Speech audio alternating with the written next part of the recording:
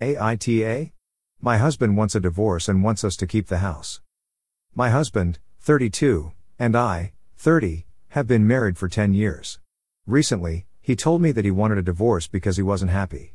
He came to the conclusion that he never really wanted to be married and wants to focus on his military career. I had always supported his career.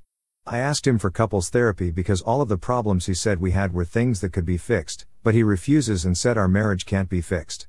I have no choice but to let him go. However, he believes that him and I can still live in our house and live our separate lives and he's already dating a girl from work. I cannot do this.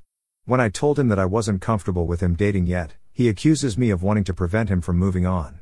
I made it clear that if he wishes to date he can do so, but I will not sit here and watch him do it because it kills me.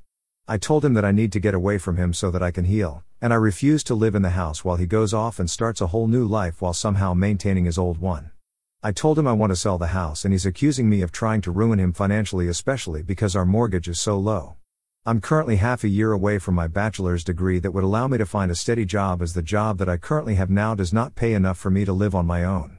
However, I have a large support system that is willing to help me. So basically, what I'm asking is AITA for wanting to move on with my life, even if it means that I have to force him to sell our house?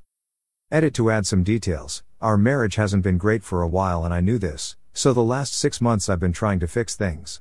He, however, has told me he wanted this divorce months ago and was building up the courage to ask for the divorce. I know that what he's asking for is delusional, but I guess I feel bad because he gave me a portion of his GI Bill for my schooling, which he's now threatening to take away. That's no big deal because again I have a good support system. I am graduating with a science degree and in my area I know I can find a good job with it.